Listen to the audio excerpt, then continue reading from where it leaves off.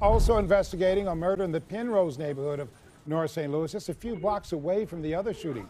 This one happened around 7:30 this morning at North Kings Highway and Margaretta Avenue. So far, not many details have been released, only that a man was shot and killed. If you have any information at all on either homicide, you're asked to call Crime Stoppers.